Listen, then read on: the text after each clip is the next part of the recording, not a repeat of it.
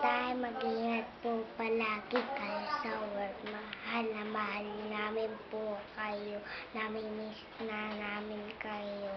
Ingat ka palagi.